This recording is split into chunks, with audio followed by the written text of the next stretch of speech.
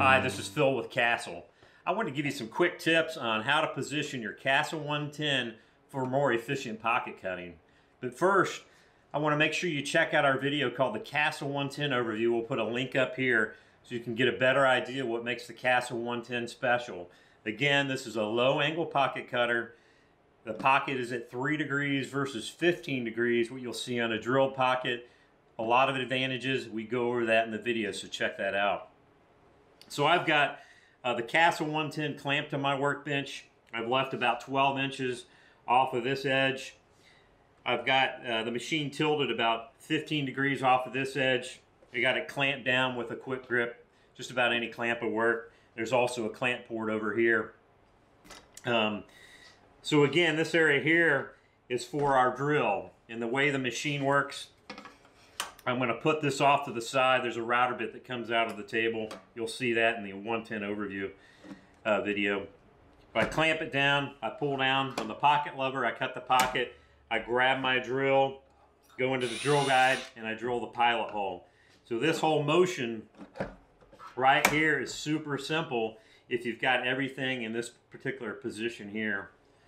So for general stock um, you know, say face frame stock, uh, table skirts, things that just aren't that wide. Uh, this is pretty much all you'll need. It'll be uh, well supported, the clamp super strong. However, if you've got longer stock or you've got panels, one of the easiest things to do is make yourself a support.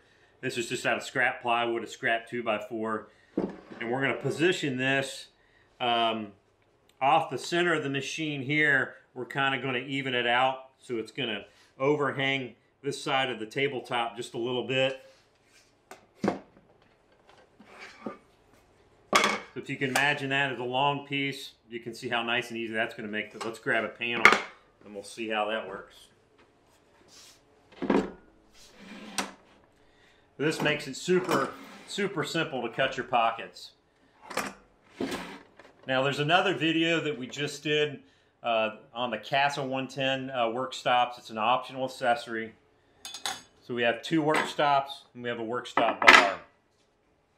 Now there's a secondary uh, feature of this uh, and we'll go over that now. It's going to help with alignment on panels in this fashion.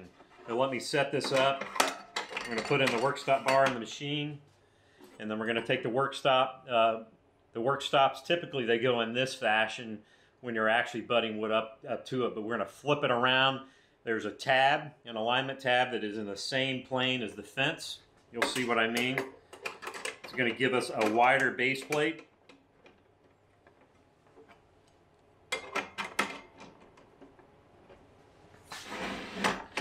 So now we've got a much wider surface to help keep our stop in alignment with the actual pocket cutter. Let me move this out of the way. One other super nice feature of the Castle 110 is, is that we don't necessarily have to have it clamped to the workbench in this fashion.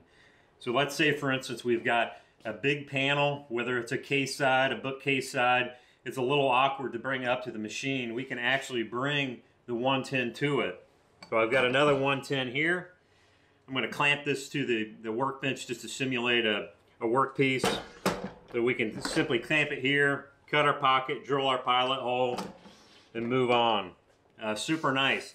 Even if you have a pre-installed piece, we can uh, do the uh, same thing uh, horizontally as well. So I hope this video helps you, makes you a little bit more efficient with your Castle 110. If you like the video, please like, share, subscribe, and we'll catch you on the next video.